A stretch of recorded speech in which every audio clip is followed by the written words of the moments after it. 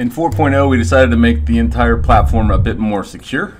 Um, and the way that we did that um, was to enact uh, secure communications between all kind of platform components. So just a refresher, if you look at the system architecture for NX Witness, stretch that sucker out, then you can see that we have the different components. You got desktop, you got uh, mobile, you got server, cloud. All these different components are connected either over secure networks or over public networks.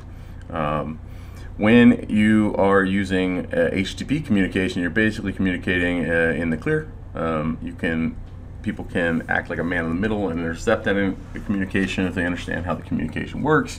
Maybe they can decipher that communication, right, or intercept that communication. Um, with secure connections, we're using SSL um, and HTTPS, uh, which are secure encrypted communications, 256-bit encryption, same as what you use at your bank um, when you communicate with your bank online.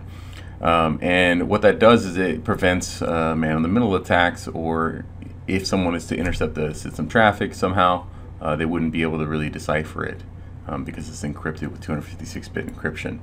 Um, and it's really simple to activate in the system. You go to System Administration, and you see here, Allow Only Secure Connections.